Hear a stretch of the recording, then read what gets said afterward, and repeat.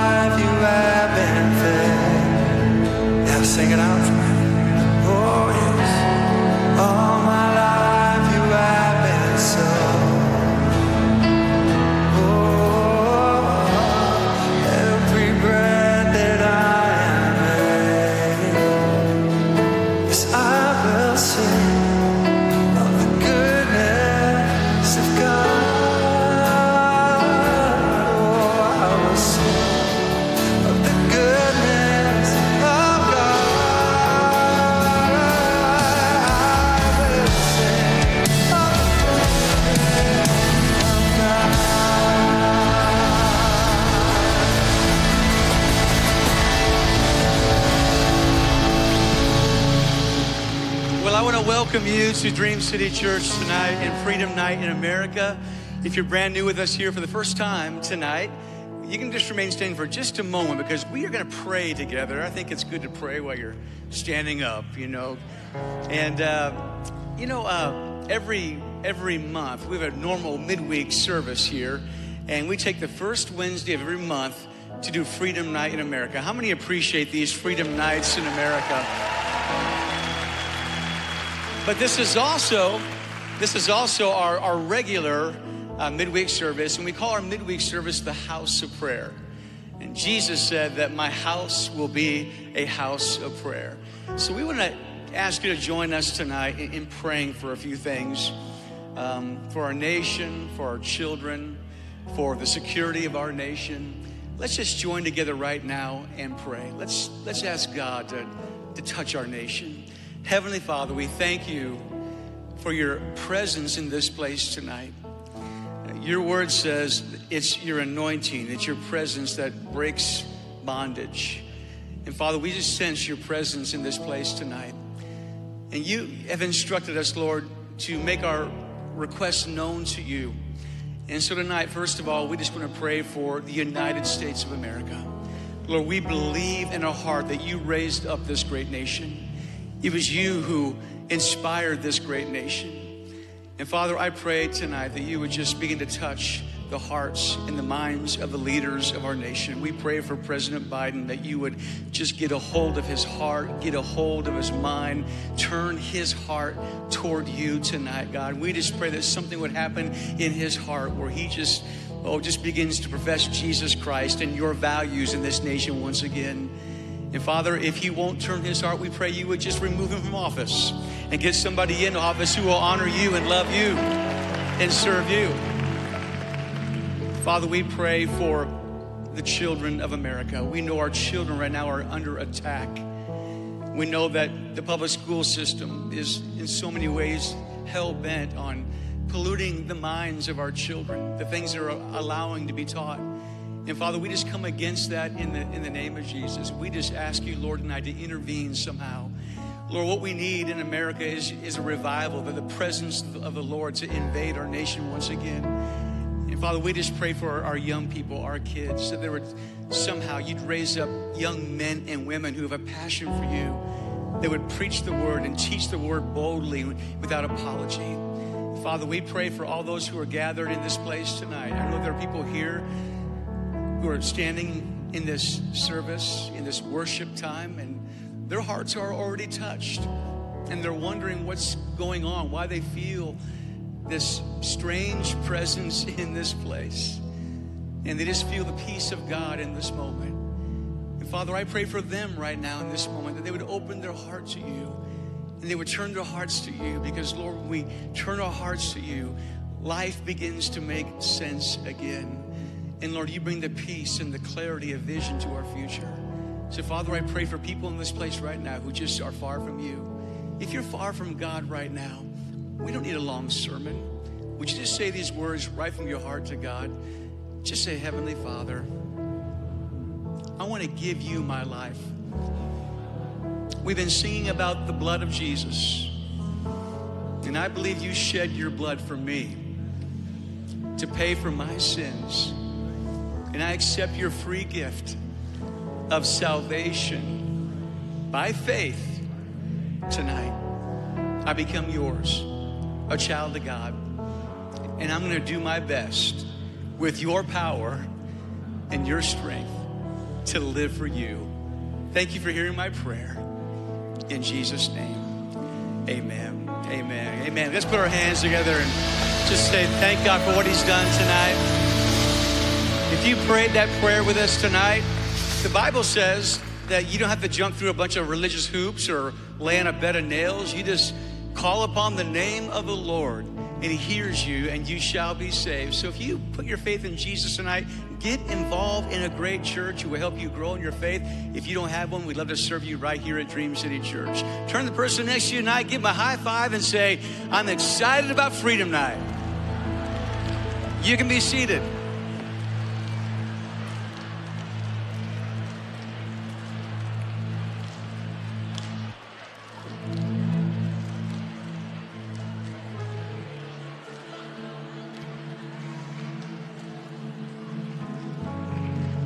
I'm going to ask our ushers to come forward at this time. And uh, every midweek service, we always take an offering for the outreaches of our church, for the Dream Center, for the human sex trafficking ministries in our church, all that we're doing to bless the city of Phoenix and to recover people and give people a second chance. So I'm going to ask you just to join in us here tonight and, and give a generous offering. This church is doing so much to be a blessing to the community around us, feeding people, rescuing people, and you can be part of that tonight. So go ahead and take the offering up right now if you would. And thank you so much for being a part of that tonight. A few quick announcements just before we turn our guests loose.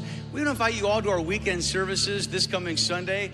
We have several campuses all around town. Check out dreamcitychurch.us, find a campus, get involved, and we believe that your families will be blessed. Also, two weeks from tonight, we have a very special event happening here at Dream City. Planet Shakers is going to be with us from Australia and uh, a great worship night. They're going to blow the lid off this place. It's going to be awesome. It's free of charge. Just come as you are. Come early, get a good seat. And then also our celebration of Christmas production. How many of you have been to the celebration of Christmas? Raise your hand real high. How many have never been? All right. Well, this is a brand new year, completely rewritten by our team this year. A brand new presentation. So you'll want to come back and invite people to come with you. It's a great opportunity to introduce your introduce your friends and loved ones to the Lord. Okay. Well, um, tonight's a very special night. And uh, I'm so proud of the amazing work that Turning Point USA is doing and their leader, Charlie Kirk. So, right now, would you stand to your feet and put your hands together and welcome our friend, Charlie Kirk, as he comes and shares tonight? Go get him, man. It'll be a great night. That's a great crowd. Yeah, very good.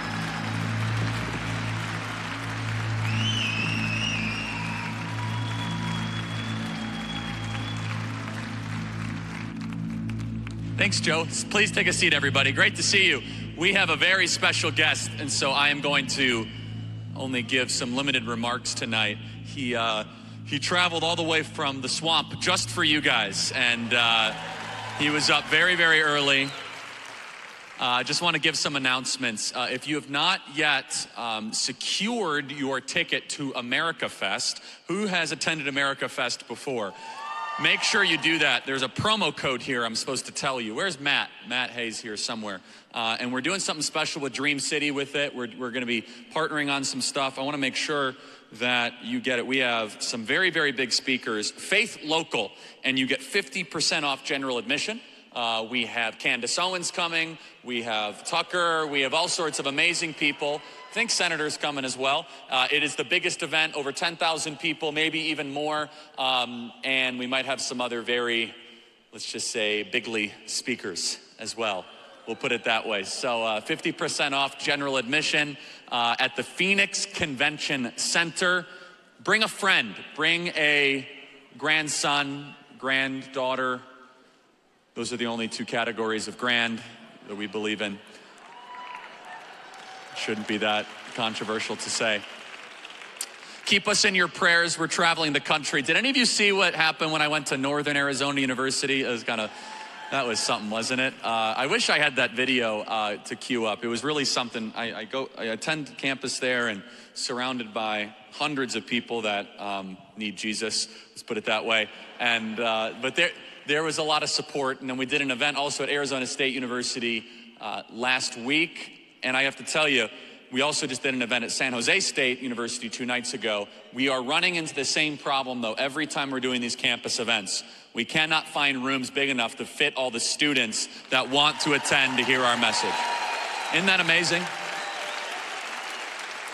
There is hope out there, and it is a perfect segue. So, when, I go, when I'm at Northern Arizona University, surrounded by 100 people screaming at me and yelling at me, and I was looking at the picture that evening, and something very interesting. Every single one of the young ladies that was, that was uh, people screaming were young ladies or men who thought they were women.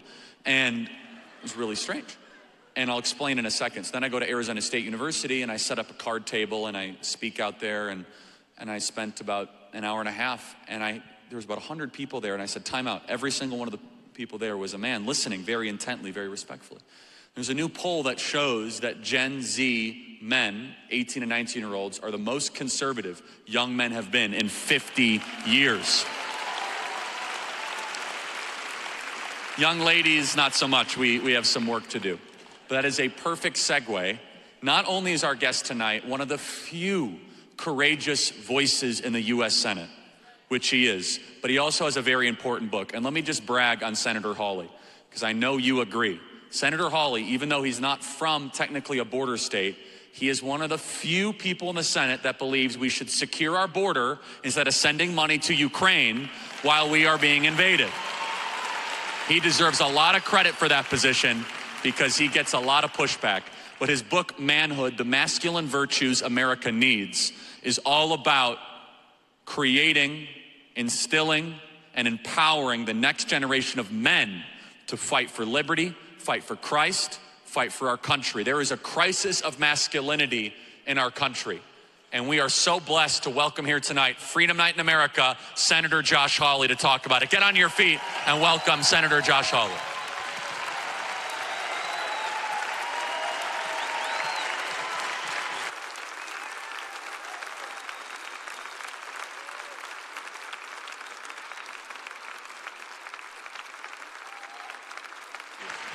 Okay, we need a mic for him. Oh, there we go. Yeah.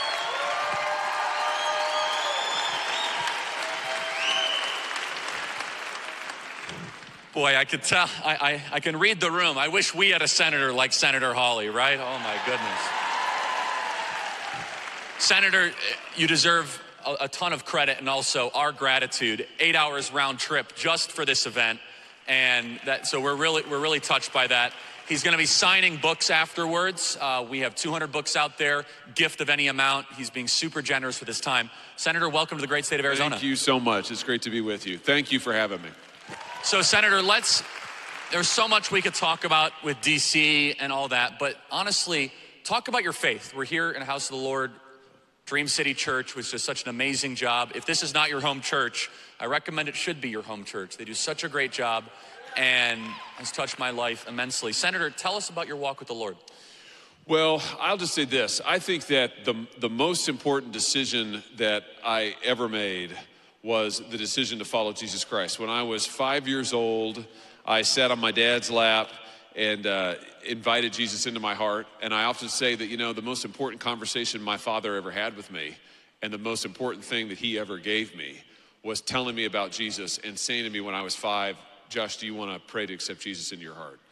And I did that again when I was when I was 12, a little bit older, and uh, made a public profession of faith. I was baptized. But uh, you know, following the Lord, Charlie, has been the great adventure of my life. And now I've got three kids of my own. My wife and I do a 10-year-old, an 8-year-old. Those are my boys, and a 2-year-old. And I just tell my kids, you know what? If you want to have an incredible adventure in your life, give your life to the Lord. Follow Jesus with all your heart and you never know what will happen, but it'll be amazing because He's an amazing Lord. Christ said, All the laws of the prophets hang on these two things love your neighbor as yourself, Leviticus 19, and love the Lord your God with all your heart, soul, strength, and mind. Senator, how do you follow God in the most godless institution that we have? I'm curious. I mean, how do you keep your spiritual disciplines a priority? How do you stay on the, the right path? Because a lot of people here probably think, oh, I work at a very godless place, or you work in the US Senate. Sh- share your wisdom. Well, I, you know, I think the, the thing for me is I come home every night to my family. When I was thinking about running for this job, when my wife and I were praying about it, because it wasn't something we'd intended to do. But when we were praying about it, I sat down to talk with my pastor at home. And he said to me, Josh, I'll tell you something right now. If you do this and you don't keep your family together, then you're making a huge mistake and you're asking for a lot of trouble in your life. He said, You got to remember where your first ministry is. Your first ministry is to your wife and to your children. So, thank the Lord, I have a, I have a wife who said that she she would come along for the ride, that she was for it 100%. So, Charlie, I come home to my family every night. And for me, I come home, I see my kids, we eat dinner together, I put my boys to bed, I read to them, I pray with them. I'm accountable to a woman in my life who, when I'm being a jerk, says, Josh, you're being a jerk. And that anchor is critical. And then the other thing, Charlie, I always say is, is that there's one thing, the most important part of my day is first thing in the morning when I get up, I get myself up out of bed. I go, I get my Bible. I literally shut myself in a room. Uh, we've got three kids, two dogs. My house is a loud house. So I, I, I try to get up early, shut myself in a room. I sit down there with the Word of God. I read the Bible and I say, Lord, help me. And uh, that, that is the most important part of my day. Put politics aside. If every U.S. senator did that, the country would be in a much better place. I fundamentally believe that. If they started their day with God and acknowledging that they are not God, that would be that would be a beautiful thing. Senator, so much happening in DC. I know we're going to get to that, but this book is profound and it's really important. Manhood, and for those of you watching online, you should check it out. There is a crisis of masculinity. It is unusual, and I mean this in a positive way, for a senator to write a book like this. Typically, when a senator writes a book, it's some ghostwriter. It's a picture of them on a farm they've never visited, with a gun they've never owned, with a new American flag, with some sort of poll tested one liner of my American story, right? Vote for me in the future. And honestly, you read it, I call it political popcorn. It's just, you ever read these US Senator books? You know what I'm talking about?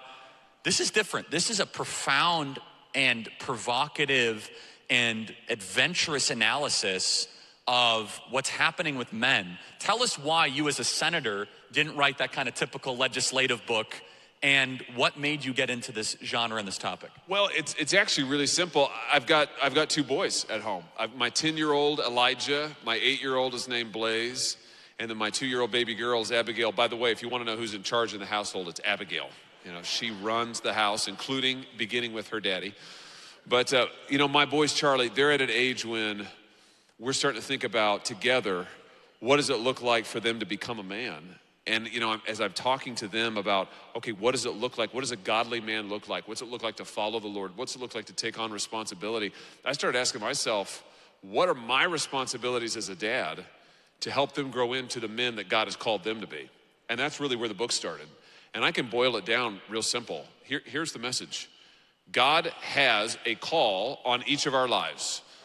He designed you the way you are. There aren't 100 genders, there aren't 1,000 genders, there are two genders. It's a good thing to be a man, and we need more men in America who will stand up and take responsibility and lead. That's their job provide, protect, lead. Serve those in your care. It's a good thing to be a woman. And this idea that if you're a woman and want to be, there's something wrong with you is insanity. It's total insanity. So the book is very simple. It's just to look at what God says about what it means to be a man. The book just tells stories from the Bible. And I tell you, Charlie, of all the different reviews, none of which did I read, but of all the reviews that folks around me told me about, the one I love the most is apparently some Washington Post writer wrote, I can't understand this book at all. It's totally incomprehensible. I said, it's just stories from the Bible. I mean, how hard is it to follow? But this tells you, to them, to the left, the Bible is incomprehensible. And that's why we need the wisdom of the Bible more than ever today. And we shouldn't be shy about saying it. I find the Washington Post to be incomprehensible. So I, I anyway. So the, the Bible's the answer to every problem. It's, it's not a book, it, it is the Word of God. It never returns void for those of us that study it and read it. It can and should change your life the moment that you, you treat it that way. Talk about some of the Bible truths that speak to manhood. Genesis 12 comes to mind. There you go. Genesis 12. God calls Abraham. What does he call him to do? He says, Abraham, leave, leave, leave the comfort of your father's house, go out to a new place that I will show you, and become the father of many nations. Now, there's a couple things I take from that. Number one is, if you want to have true significance of your life, if you want your life to matter, if you want it to mean something, answer the call of God on your life. God calls to you, He has a purpose for you, He has a plan for you, and that plan is to join Him in the incredible work that He's doing in the world. You want to matter for eternity? Follow Jesus Christ as your Lord and Savior. Number one. Number two, what is it do you notice that when God calls Abraham, Abram then, later Abraham, what is it that He tells him He calls him to do? He calls him to be a father. Abram's not a father at that point. He calls him and he says, I will make you a father. I think there's a message in here for men, which is that what the world tells us to do, men, which is live for yourself, entertain yourself, and then do as you're told, right? You know, it's be compliant. Don't rock the boat, don't cause any trouble, entertain yourself. That's exactly the wrong message. If you want your life to matter, follow the Lord Jesus Christ with all your heart, soul, strength and go give yourself to other people. Go become a husband. Go become a father. Go invest in other people. Go carry the kingdom of God out into the world. That's how you matter in life. That's what God called Abram to do. And Abram, which then became Abraham, which literally means father of all nations in Hebrew, he, he lived a very complicated life. It wasn't easy at all. Binding of Isaac, going to Egypt with Sarah didn't exactly handle that well there, but it was a deep life and it was a fulfilling life. He was the first Jew and started this unbelievable story, a cause set in motion. Really, is that Genesis 12 is almost a new start to the Bible. What other truths, what other stories of the Bible stand out as men that are courageous, that are bold, that have purpose? That is a word that you use repeatedly here in this book. Purpose. The Greeks would call that telos. Yeah, absolutely. Because I think what, what so many men, maybe especially young men in our culture, and you all know this fathers, husbands, grandfathers, what so many young men in our culture are suffering from is a total lack of purpose. I mean, just look at the, the statistics. More men are in depression, addicted, committing suicide than at any time in our country's history. It is an epidemic in our culture. We're also suffering from an epidemic of fatherlessness in our culture. We've now had generations of men in America who do not have a father or even a father figure, which is why I say again to young men you want to change your destiny, you want to change the destiny of this nation, become a father. But you, you asked Charlie about other men in the Bible we can learn from. Take Joshua, for example, great warrior. Joshua called to be courageous. You know, what is it that we think most about with, with Joshua, the Lord says to him, Be strong and courageous.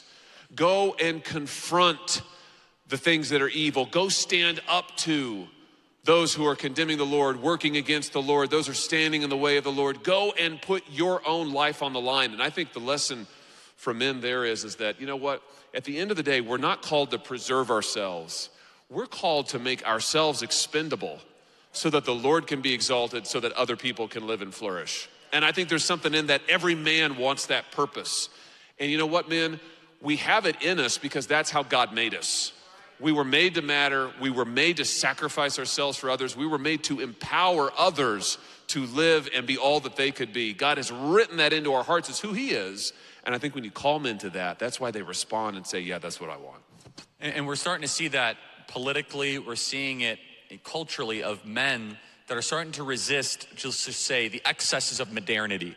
And there's an entire portion of this book that focuses on a third rail topic, but that needs to be addressed in the church and more broadly, which is pornography. Pornography is destroying marriages, it's destroying young men, and if you are a parent and you have a young man and you say, oh, my kid doesn't watch pornography, you're probably lying to yourself. I'm not saying this as any sort of cute way. It is so ubiquitous, it's so widespread, it's so addictive, it's so corrosive.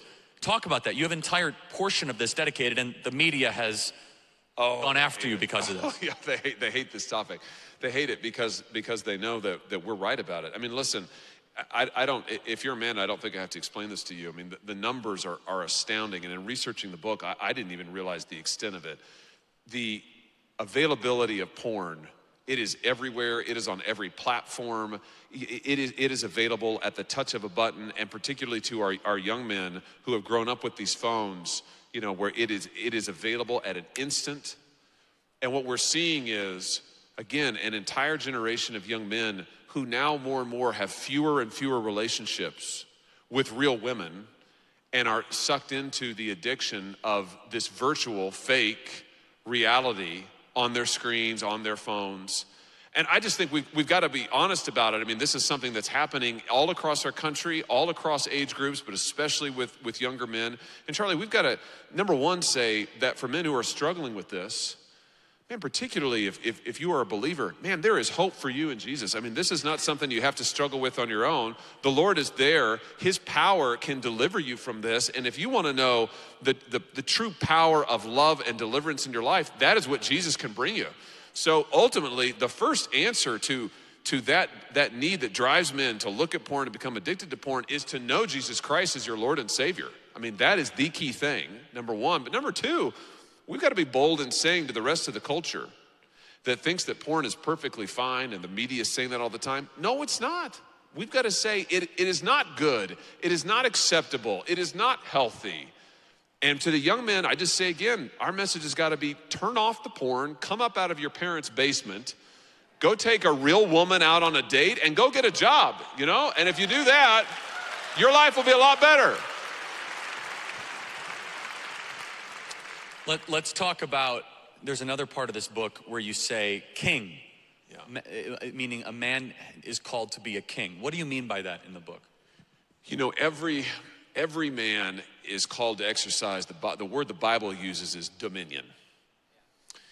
That's the authority that God chooses to give us to help accomplish his purposes in the world. Think just think about this. This blows my mind every time. You know, it's not as if God needs any of us, right? I mean, the Lord can do whatever he wants to do. He does not need any of us, but he chooses to partner with us. And I just think of this. I told you I have three kids. You know, my two little boys, 10 and 8, they love to help me do stuff around the house. And I'll be honest with you, sometimes when I say whether it's changing a light bulb or whether it's, you know, the other day we had to change all our door handles out. And so, I, you know, I was doing that. And, and my kids are like, oh, Daddy, can I help? Can I help? And what I'm really thinking, just being honest with you now, is uh, if they help me, it's going to take three times as long. You know, it's like the help doesn't exactly expedite things. But in the moment, and this particular project when we were changing all these door handles, I, I had just just enough sense to say, absolutely, boys, I would love your help. Why? Because they're my sons. And spending time with them is more important than, than any particular task. I tell you that story because I think that's how God thinks of us. Does He need us? No. Does He want to do things with us? Yes. So, men, He gives us authority to use that He delegates to us. He does it for you too, women, but I'll let the women speak to that. For men, He gives us authority to use because He wants you to be His son. He wants to know you as a son. He wants to be your father. He wants to bring you into His purposes in the world. And part of what He wants to do is He wants you to, to be a king, He wants you to exercise authority and to make your part of the world, to bring order to it, to bring beauty to it, to make it something that glorifies God, and to empower the other people in your life. That's who He is as a father. That's what He wants you to be as His son, and He gives you His authority to do it. Charlie, it's an amazing thing. We could talk for hours about it, but I think for men, man, this idea that God is my father, He's calling me to be like Him, and He wants to partner with me, it's amazing. Yeah, and in the New Testament, this drives some rabbis nuts. Is that God is not just used as Jehovah or Adonai, it is the word Abba in Greek, which is a personal father. Uh, that, that is a relationship that you are, it- it's a two way street. It's a completely different framing of, a, of a, how we view God, not just one that is um, as articulated um, in, in the Old Testament. So that's, it's a really interesting component of this. You also have priest which uh, the idea of a priest goes all the way back to the Old Testament. There's a whole book written about priests. Leviticus is basically focused on this. Uh, one of the most quoted now verses, which is a song that you've probably heard, the blessing, may the Lord keep you uh, and let his grace shine upon you is the priestly blessing in Numbers 6. What do you mean by men need to be a priest? I just mean that, that as men, we are called to bring the presence of God into every place that we go. So, your workplace, you're, you're called to bring the presence of the living God into the place where you work. And if you do that, you will transform it. You're, you're called to bring the presence of the living God to your family. You're called to bring the presence of the living God to the Little League team that you coach. You're called to bring the presence of the living God into your family reunion. Everywhere you go, you could put it like this You owe the world an encounter with the living God. And He wants to work through you to bring it. That's what's amazing about it. That's what's amazing about it. And I just think that that that reality is it's incredible charlie. And again that god would you know would ask me to help reveal him to the world it's crazy. It's like has he met me? I mean you know it's crazy. But he, he works with us and through us. He calls us to be his sons and he calls us to bring that encounter and that life-changing power everywhere that we go. And i just think man there's no higher calling than that. I love it. So now let's connect it as we segue here before we take some questions, where you write this beautifully on the back of the book. It has been a perennial question of political philosophy since the first republics were formed whether a free nation could survive without soundness of character in its people. The old fashioned word for that is virtue, meaning not just moral uprightness, but the personal fortitude and vision such uprightness produces strength, in other words. Senator, walk us through what this means for us politically as if we do if we have grown boys masquerading as men. What does that mean for our politic? Because that's something that we talk about here at Freedom Night. We talk about the faith component, we talk about the cultural component. What does it mean for the nation? Jeremiah 29 7. Seek the welfare of the nation that you are in because your welfare is tied to your nation's welfare. If we're trying to seek the shalom of the, of the nation, what does that mean if we do not rise up a new generation of strong men? Well, let me just put it this way. You can elect all the people to Congress and the White House that you want, and we, sh- we, should, we should do that. You can try to pass all the good legislation that you want, and boy, we should try to do that. But if you want to change the direction of this nation, change the men in this nation. If you want to change the future of America, put men back in the home. You know, you want to deal with the youth violence epidemic? Put a father in the home. You want to deal with youth poverty? Put a father in the home. You want to stop violence against women? Women, put a husband in the home. So it's just, I think it is a, it's an affirmative call to men. Listen, what, what we do in the next four or five years, I firmly believe this is the moment in history we're in. What we do in the next four or five years will determine whether there is an America in 50 years. That's where we're at. And men, I, it's a turning point, you might say. And then I just want to say that, that what we as men do in the next four or five years will determine whether there's an America in 50 years. That's where we're at. So character matters, and the character of men in this country matters. And boy, we need men who are who are willing to step up, take that responsibility, take on the burden, shoulder the load, and say, "I'm going to lead my family. I'm going to provide. I'm going to protect." Well, and You're gonna be a also, the, so, so God's heart for his people is not to live under tyranny. Th- th- This is a repeated theme. John 10 10, the enemy comes to lie, steal, cheat, and destroy. I have come to give life and life more abundantly, right? That is the scriptures as accurately and succinctly portrayed in one verse that you could possibly imagine. Talk about in our fight against tyranny. I firmly believe that one of the reasons we are living in this totalitarian moment is because we have overly feminized the American society. We are too feeling based, too emotion based, and before people start screaming at me, you're gonna prove my point if you disagree. You're like, no, I'm not that emotional. Okay. Let's just say everyone can be emotional, but we are way too emotion based in our country right now. Do you agree? We have lost reason and we are too feeling based. That's a fact. Now, you can get too masculine as a society, Mussolini, but you can get way too feminine. We are living through it right now. Senator, talk about that in our fight against tyranny. This is the missing ingredient. The missing ingredient are the tens of millions of young boys that have been told that you're toxically masculine, that are not living their ultimate purpose. This, it's not a good sign, everybody, when, again, I, I don't, I'm not a big fan of college, let me be very clear, but you know 62% of all people that are in college are women? 62%. That's not a good sign. It's not. And you might say, well, where are the men going? They're not really going anywhere. It's actually called, it's we're literally living in Peter Pan, the Lost Boys. No, it's not a joke. There's, there, there's literally right now 15 million lost boys in America. And, and they're not, they don't go to college, which again is fine, but they're not even necessarily working or doing part time jobs. Senators, the numbers are unbelievable. While their female counterparts are the, they get more master's degrees, more college diplomas, more PhDs, buying more homes, young women in America are less likely to commit suicide. They're less likely to um, they're less likely to die at work. They're less likely to die of a drug overdose. I mean, the, the numbers are so startling, right? And you have these 15 million lost boys that have no direction, no purpose, and that's really bad if we're trying to fight tyranny. Because those are the ones that should be at the school board meetings. Those are the ones that should be running for state representative. Those are the ones that should be pushing back against this authoritarian garbage and nonsense. Connect those dots for us, Senator. Well, I just think of what Benjamin Franklin said, you know, famously coming out of the Constitutional Convention. You all remember this story?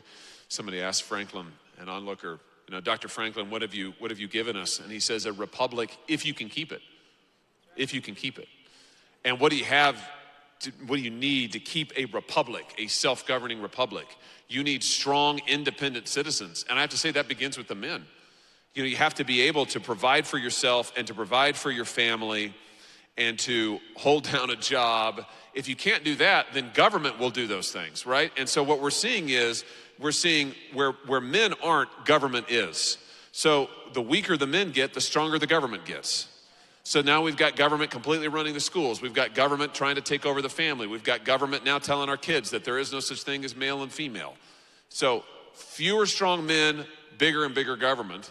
And Charlie, at the end of the day, I mean, you know, what, we know what the Lord's will is. You look at what did He call the people of Israel to do? The, the people of Israel were to serve the Lord and have no other king before Him, right? That was his, the Lord's heart when He called them out of slavery. You'll have no kings before me. He gave him a king later. That was a concession to their weakness. That wasn't His plan originally. So I think it's the same for us. What does He want?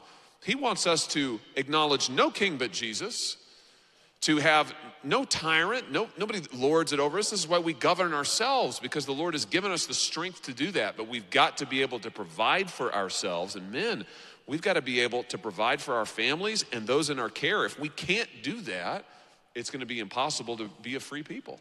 And, that, that's what's so in- incredibly important. The Old Testament scriptures teach us freedom is not natural, it's not automatic. Remember, this is a recurring theme we talk about. God delivers his chosen people out of Egypt, unbelievable miracles, parts the Red Sea. 72 hours later, the Jews are complaining and saying, Who's this Moses guy? Bring us back to Egypt, because at least we had meat, cucumbers, melons, and we were safe. They wanted to go back to slavery and not live in freedom, despite the fact that God blew quail off course and manna from heaven. Complaining nonstop. Freedom is a value, it must be fought for. We are not, we as human beings have original sin. We are not good naturally. That is a Christian teaching, by the way. If there's just if there's something that you can make sure your kid knows for the rest of their life is that human beings are automatically pretty crummy. Most of American colleges will teach the opposite. They'll say human beings are wonderful and evil is because of racism and homophobia and capitalism and lack of goods and services and all this stuff. It's a hard issue. We need Jesus. We're broken from our birth, and only Christ can redeem that. But if you have only one side of the equation, and here, and Senator, we'll close with this, we'll do some questions. The tragedy is young women then have to act like men. And I don't mean it just as the trans thing, because that's bad enough as it is. Tens of thousands of young women that are medically mutilating themselves and are on drugs that will irreversibly do damage to themselves. I mean young women that are feeling unnecessary pressure to go in the workforce when in reality they want to do the heroically biblical thing. They wish that there was a masculine man that they could marry and have kids with. And they want a culture to tell them that that's a good thing. And instead they say, ah, and, and, and you, it's amazing when I go to these campuses because when I talk to some of the young ladies, say, oh, what do you want to do with their life? You could tell immediately, well, I guess I'm here to study uh, uh, 13th century lesbian theory. Oh, really? What are you going to do with that? I don't know. My parents told me I have to be here. And I say, What do you really want to do? And they said, Well, I want to do the one thing that I'm not allowed to do. So, what's that? It's like, I wish that there was a man worth marrying and I want to have kids, but can't do that in today's culture. She said, At least until early 30s. I was like, You are being so lied to. You are being so deceived. Not only is it okay, it is necessary and it is beautiful for young women to do that. But the thing that they say is they can't find strong men. Final thought, Senator. Well, and, and I would just say to, to the men out there, you know, our side of the bargain there is we've got to be willing to be the ones who step up and who provide and, and take on the responsibility. I mean, I'll, I, I can't do better than just quote my wife, who is both the beauty and the brains of our operation, I'd like to say for the record. But uh, my, my wife has often said, she's like, you know, Josh, women aren't stupid. You know, I mean, how, how has the human race survived? She's like, women are not dumb. It's like women don't want to marry men who are just another child, you know? Particularly if they have children. It's like, I want to have children. I don't want my husband to be one of them, you know? So they want somebody who's actually going to provide and be part, contribute to the family. And I just think, you know, man, that is, uh, that is straight truth. And it is also gospel truth. That's what we're called to do. And there's a great satisfaction. I'll, I'll just, I'll finish with this. Every man who knows this, who is a husband or father, man, there's nothing better in being able to say, I am providing for my wife and my children. I am investing in their lives. And, you know, seeing my, I can just say as a dad, seeing my boys, and I make so many mistakes as a father. You know, you want to talk to me, you want to talk to me later about, uh, about what it looks like to repent every day of all the mistakes you make. That I, I'm here for that talk. I can give that talk. You know, I mean, every day I gotta, I gotta ask the Lord forgiveness. I didn't do that right as a dad. I shouldn't have said that to my wife. So listen, I'm, I'm not, I'm not claiming perfection here. I'm just saying this. It is an incredible privilege to look at my little boys and to think, man, the Lord has entrusted these guys to me. I've got a role to play in their life that could matter for eternity. That's incredible. That's incredible. Every man should have that. Love that. Let's start lining up for some questions, everybody, please. Uh, we have a fair amount of time. So, look, the senator can ask stuff about Washington, D.C., and all that. Keep the questions. Let's get to as many as possible. If I could be honest with you, it pains me because sometimes we take too long on the questions. Let's get straight to the questions so we can get to more questions, okay? We're all in agreement. And then afterwards, we have 200 books. Uh, the senator is uh, generously going to sign as many of it as you want, Senator. I know you, you got to get back to D.C. and uh, figure out what they're doing there. I'll just stay right here with y'all. Yeah, seriously. Everybody be happier. You know, I I get asked all the time, Charlie, you going to run for office? And I say every time I meet someone from D.C., they don't want to go back. And that's not a good True. sign. So I was like, no, I'm not running for anything. Yes, ma'am, we'll start with you. Hi, uh, Senator. Thanks for being with us. So I heard KJP, I call her Karine, John Pierre, say uh, yesterday or today that it was the Republicans' fault that we have this mess at the border. And I also heard Senator, uh, Representative Jordan yesterday say that the House passed a very comprehensive immigration bill. Can you get us up to speed as to why that didn't go anywhere in the Senate? Absolutely, I can. Uh, the Chuck Schumer, who runs the Senate, has absolutely no interest in securing the border. None of the Democrats do. I mean, they're just they're just not interested in it. I just actually introduced legislation myself a couple days ago. I guess it was yesterday. And uh, it's a very simple piece of legislation. It just says this if Joe Biden and the federal government are not going to enforce their immigration laws, then let's let the states do it. Somebody should do it. So clearly, our government's not going to. So my bill's real simple. It just says states, you can go out and enforce the immigration laws, federal immigration laws. You can do deportation. You can do it. Somebody's got to do it. And I just, you know, I don't want to belabor this point because I suspect we agree, but I'll just say this. There have been over 300,000, I believe it is, 300,000 children trafficked across the border and sold into sex slavery and labor trafficking slavery in this country just in the last two years.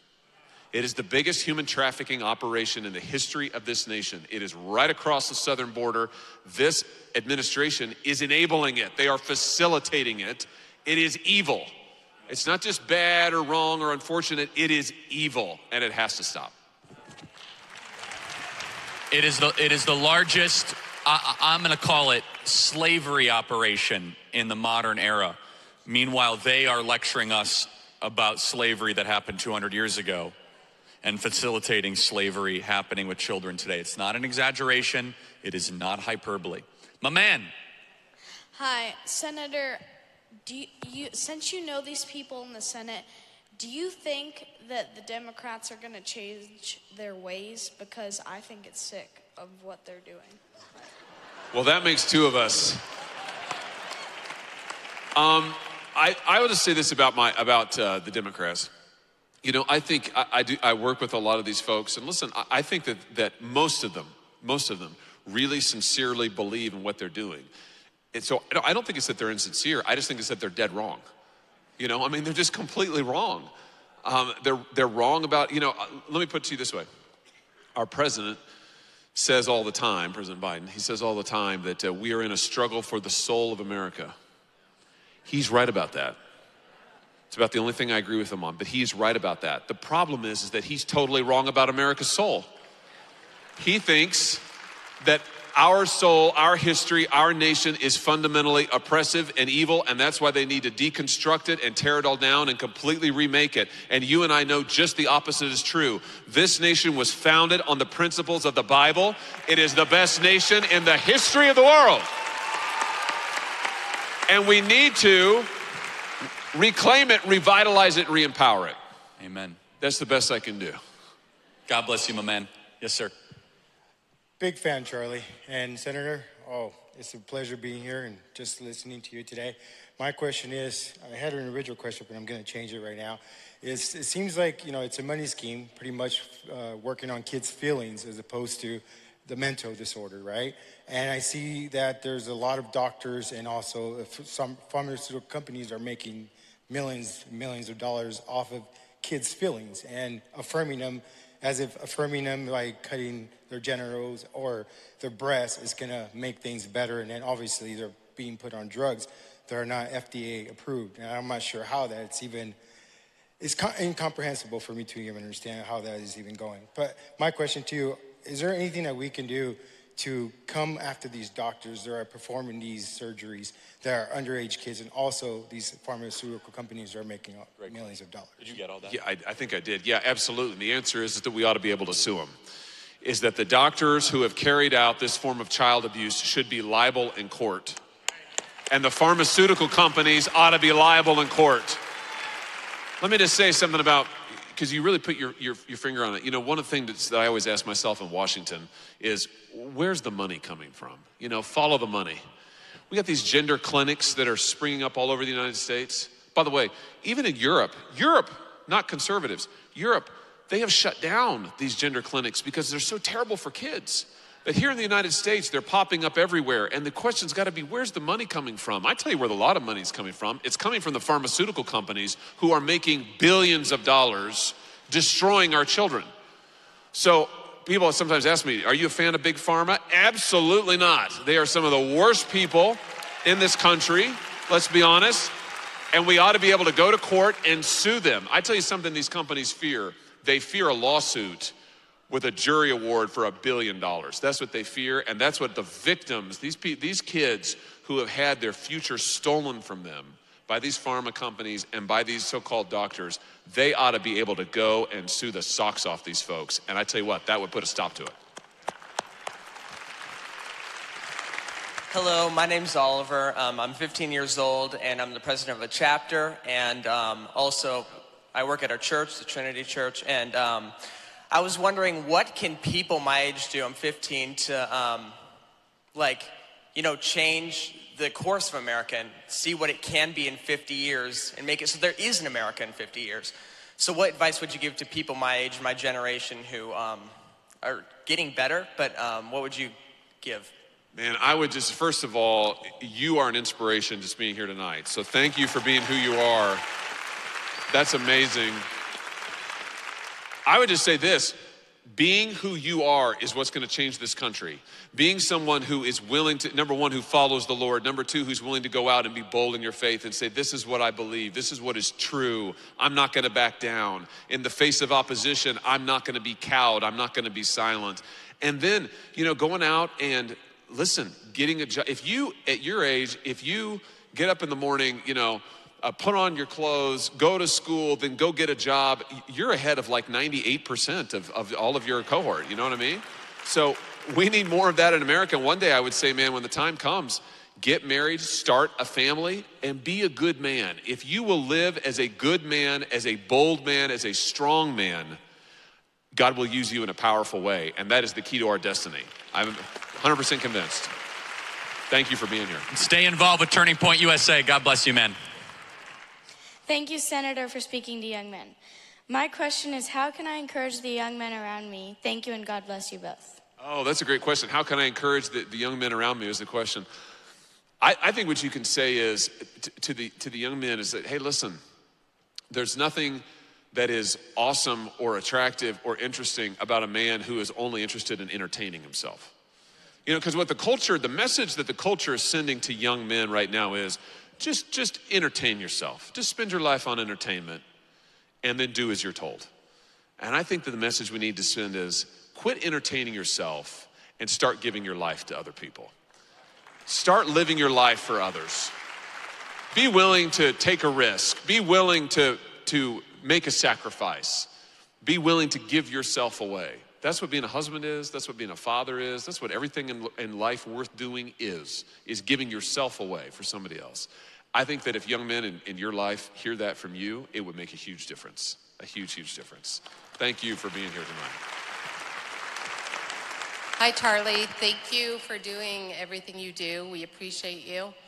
And Josh, my question for you is how do you keep the strong faith that you have going to that circus every day? I don't know. I just can't understand it. You know, um, I guess it's just this. I, I, guess that when I look at when I look at the scripture, when I look at the Bible, and I look at I look at Joseph, who was in a pretty tough place and who served in, in a pretty tough place, and I look at Daniel. Heck, when I look at David, what I see is not so much extraordinary men, although those guys were extraordinary. What I see is an extraordinary God who will sustain the people that he calls. So I am a very ordinary person, as my wife and children will tell you. You know, I mean, I'm, and as any of you, you spend five minutes with me, just ask my team. They're over here. They'll be like, you know, let us tell you about Josh. I'm a very ordinary person, but we serve an extraordinary Lord. And so the only thing I know to do is just try to keep my eyes on the Lord and say, Lord, if you send me, I will go. And, and if you will go with me, it's what Moses prayed, right? Lord, don't send me unless you're going to go with me. But if you go, then I will go. And that's, the, that's how I have hope for the future, is because, listen, you, you, think about this country, there's been all kinds of times in our country's history when you would have said, man, how, how, is, how is the United States ever going to make it? But I don't think God is done with this country yet. I think God has a future for this nation. And because I believe in Him and have hope in Him, I have hope for our future. And that's what keeps me going.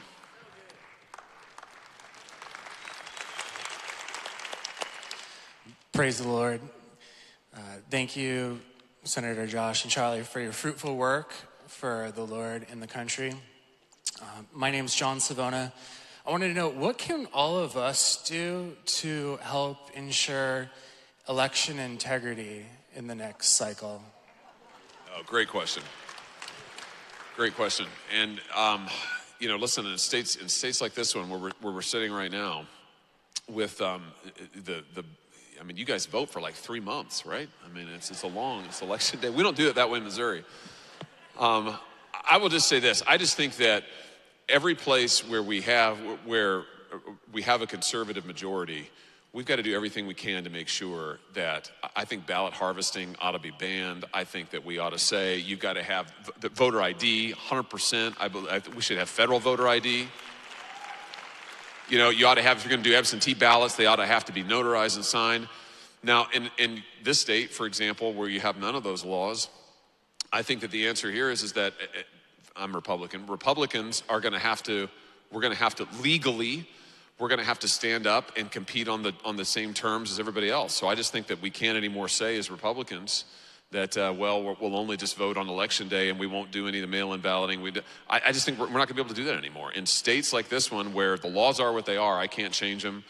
Um, y'all, the voters of the state, I hope maybe you change them one day. But where we can't change them, boy, we've got to stand up an, an operation legally to compete on the same terrain and to go out there and to get the vote and to bank the vote and to go and uh, and recruit folks all across the state. Yeah, a couple thoughts. The, there's so many issues with, with this state right now that, that's just beyond frustrating. If we just tell everyone to vote again on election day, we do not have the infrastructure to facilitate that. Stephen Richer is not going to change that. We have voting centers. We never should have had voting centers here in Maricopa County. Voting centers is code for people who vote on election day are going to have to wait in a long line. And so I here's how I personally am going to vote. I'm, I'm live right down the street, right? It's not going to be by mail. It will be in-person early voting the Friday or Saturday before election day. That is not 100% secure, but it's better than not voting at all. I'm just going to be honest, okay? And it's better than getting when I showed up to go vote for Kari Lake at the Scottsdale Voting Center. I had a two and a half hour waiting list and a Chinese fire drill. And people, I mean, how many of you experienced that on? uh, yeah, exactly. That is a sabotage.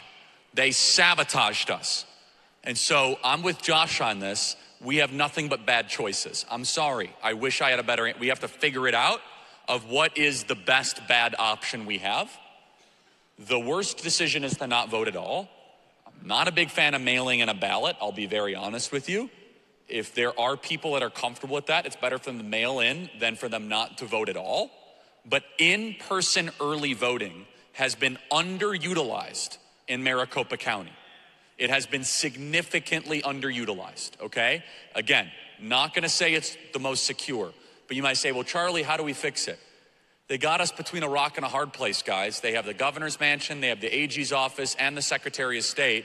And so we have nothing but pretty poor options. So this is the final thing that does need to happen is that I wish we had a national Republican Party that would spend the necessary millions of dollars for the lawsuits that need to happen here because we can win some lawsuits here. That can change stuff.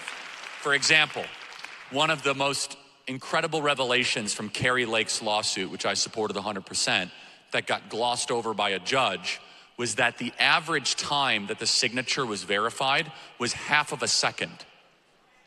So that might seem insig- the judge said, "Oh, that's not a big deal." That means someone's just there clicking a button. They're not doing their job. There, there's there, no one's verifying signatures. They're just approving every single ballot. That's a really good attack vector for a well-funded law effort to come in and say, "Whoa, whoa, whoa!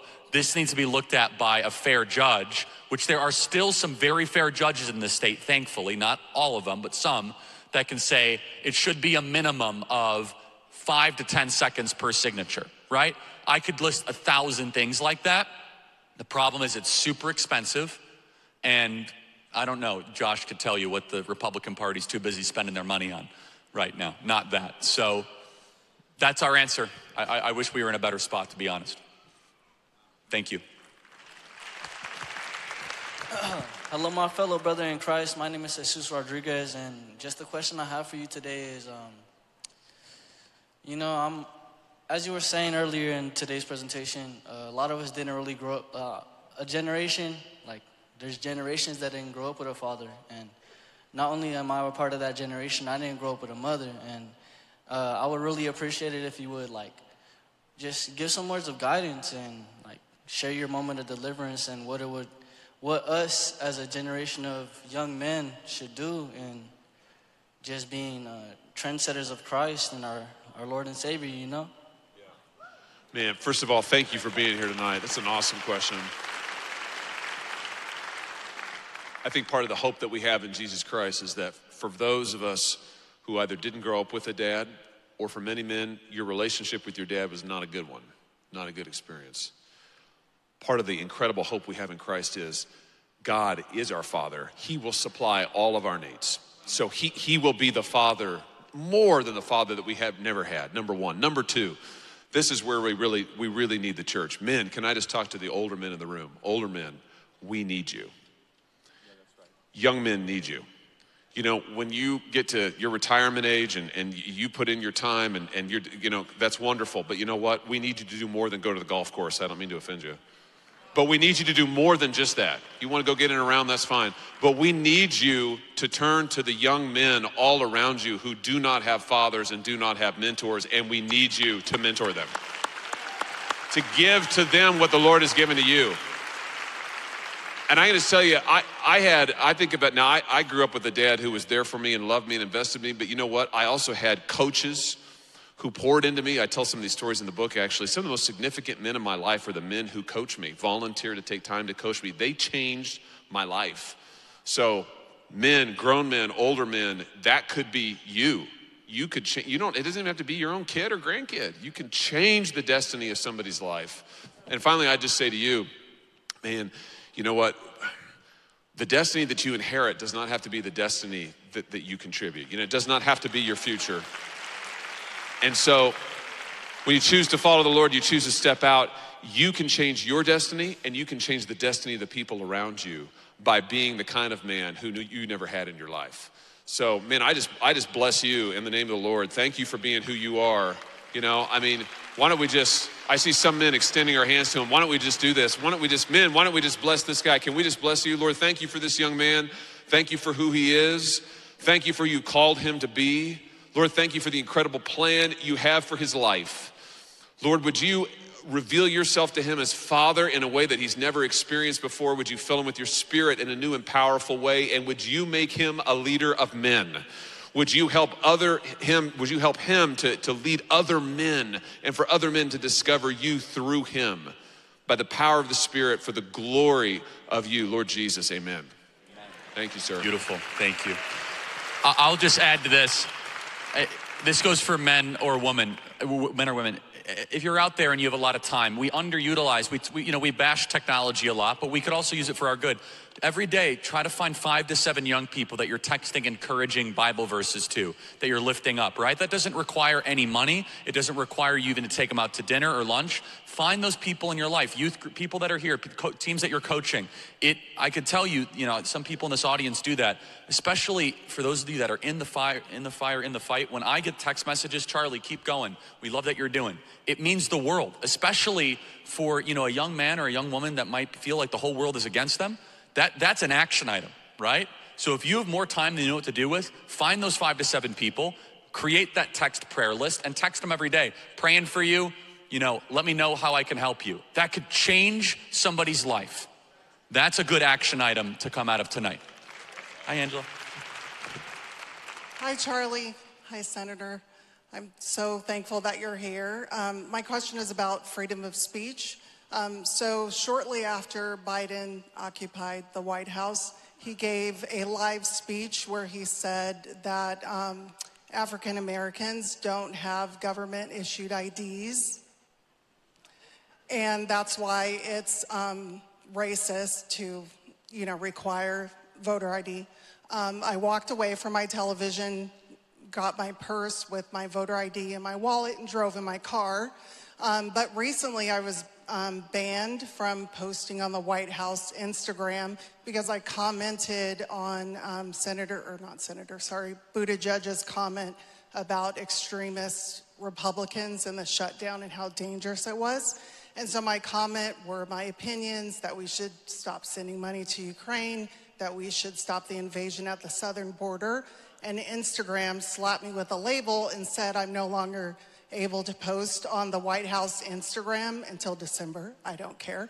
But my question to you is how how is our current um, president able to flat out lie as if they're facts and his cult followers how are they able to lie with freedom freedom of speech but they're not slapped with a label they're not fact checked or anything like that it is, that is such an important question.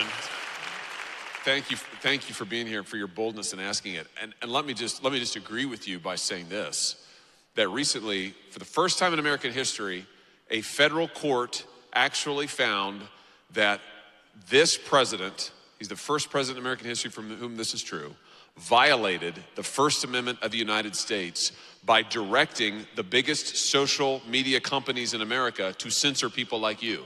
It was systematic, it was deliberate, it was political targeting, and it wasn't. Charlie's been shadow banned. I bet many of you have. You know, Charlie's a public figure. I'm not saying it's okay. It's not okay, Charlie. But but Charlie's a public figure. But this White House, they've done this to you and they've done it to probably millions of Americans. And it's the first time in our history that the president, the White House, has used the biggest companies in America to do this, and it is flatly unconstitutional. The answer to your question is they don't have the power to do it. It is absolutely unconstitutional. It is a violation of the First Amendment. And we have to, we just have to call this out for what it is. You know, the, the, uh, the Senate recently had a hearing on book banning, is what they called it. And, it, you know, who knows? The Democrats called it, of course. And I, I went to the hearing and I said, I'm so glad that we're here today to talk about censorship because we have the biggest book banner, book burner in American history sitting in the White House who's trying to shut down all of our speech. Such that if you post on his website or you want to you want to circulate a petition about your school, your kid's school that uh, we don't think we should wear masks or be taught CRT, this White House will have you banned. So all I know to do is we have to continue to expose this at every turn and to do what the states are doing, some of them, including my home state of Missouri, which is to take these people to court. And in that lawsuit, I'll close with this in that lawsuit, the reason it's so important, the state of Missouri brought the lawsuit. The court actually slapped an order on Joe Biden's White House and said, You can't meet anymore with these social media companies because they're using, you are using them to do illegal stuff. That's the point we're at in America. It's a sad point, but we've got to continue fighting. So thank you for being bold. I want to try to get to a couple more, but also be respectful. You're, it's 10:50 your time, Senator. So we're, we're pushing the, we're pushing the, the boundary here. Yes. Okay, so I guess that would have been election interference, which I guess is an impeachable offense, right? That's what I've been But told. around His and whole around we go. Presidency is an impeachable long offense. Of those things, and, and it just doesn't seem to go anywhere. But that's not my question. My question was um, how to encourage young men. I do have a son who, luckily, is uh, a junior in college right now, but I can kind of see him struggling still not he's just kind of going through the motions and, and so many of his friends are the same way um, i'm an army brat. And by the way thank you for being here mr Hawley. My name is holly h-o-l-l-y I can remember that. but um, um, my grandfather and my father are both military. And um, if my son had shown any inkling to want to go in the military, I really would have had second thoughts about it. Um, because uh, the, the embarrassing withdrawal from Afghanistan was just shameful. Um, those families that are still suffering to this day with a commander in chief that just doesn't care.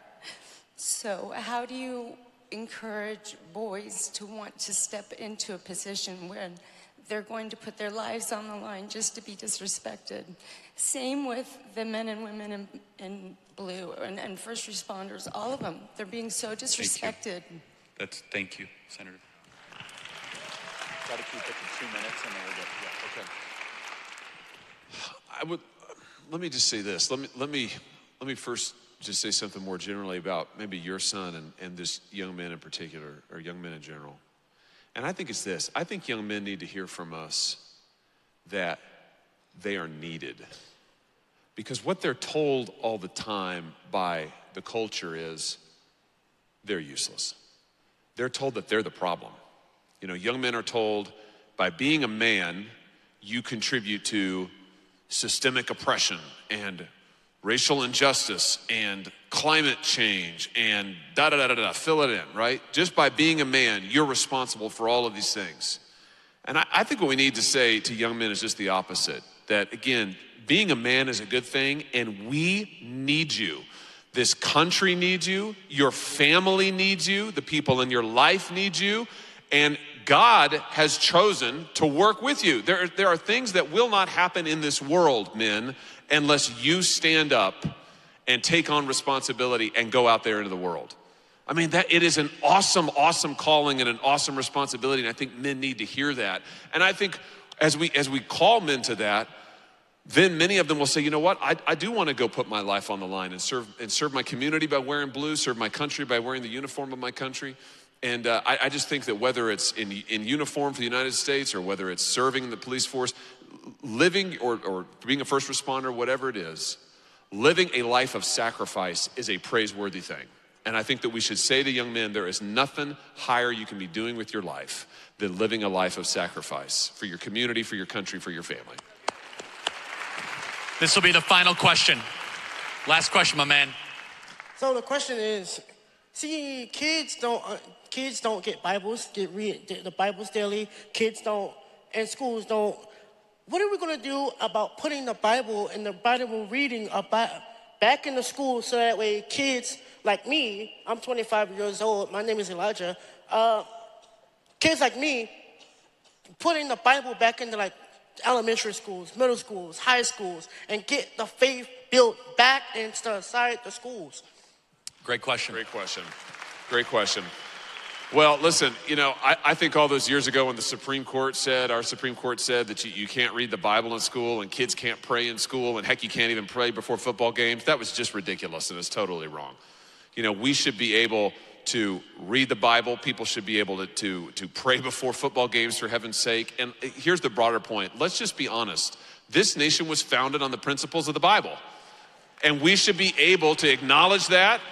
We shouldn't be shy about it. We should teach it as part of our history. That is who we are, and that's what makes us an exceptional nation. Is that we're founded on the principles of the gospel. And I just think this is as Christians, I just think that now more than ever, man, we have got to teach the Bible to our children, but we also need we need Christian schools. So can I just say that? Can I make a plea to the to the pastors out there? Um, we need you to start schools. We need schools, schools, schools. We have got to make available. If COVID didn't teach us that, nothing will. And we really, we need the church to step up. I mean, we are in a desperate way here. We need the churches all across this country to open up schools and to teach our kids and to take kids from every background and every walk of life and teach them about Jesus and teach them about the Bible and also teach them how to read and write because they're not learning it anywhere else. So, as you guys know, we have Dream City Christian, a Turning Point Academy that we have here locally. God I also, I, I was just made aware of this, Senator. There's an organization out of Ohio that's really started small called LifeWise. And they reread the 1950s Supreme Court ruling on prayer. I don't know if, you know, and many people don't know this. The Supreme Court said no prayer in school, no Bible in school, but they made three exceptions, which is they said that the school actually has to allow one hour a week during school hours for a kid to be able to have religious instruction but it has to be off campus. The parents have to sign a waiver, and no money of the school can be used. So, this nonprofit called LifeWise in Ohio said, okay, we'll raise the money, find the space, and the school has to allow one hour of religious instruction. And no one's ever thought to build a charity around this. I just learned about this a couple days ago. This could be a revolution in government schools across the country. And we're gonna talk, Luke, about this to get one at every single Scottsdale school where during school hours, one hour of Christian education could occur. And so I, I love the question. So, in closing, everybody, I know you agree with me. How impressive is Senator Hawley? Isn't he just something else? He really is. And so I want everyone, please stand. I want us to pray for Senator here. And he's going to be signing books. And we're, we're probably going to run out of books. So when you go at home, try to buy it anyway. Manhood, you know, it's whatever, 15, 20 bucks. But we need leaders like Senator Hawley. Join me in praying for Senator Hawley. Lord, we pray for Senator Hawley. We pray for everyone in DC. We pray for our leaders and those in authority. As you say in 1 Timothy, we pray for wisdom and guidance and courage and boldness for the senator as he continues to fight for what is good, true, and beautiful. And we pray for our country. We are in trouble and we need you. In your name we pray. Amen. Everybody, thank you so much. And the senator will be signing books. Thank you.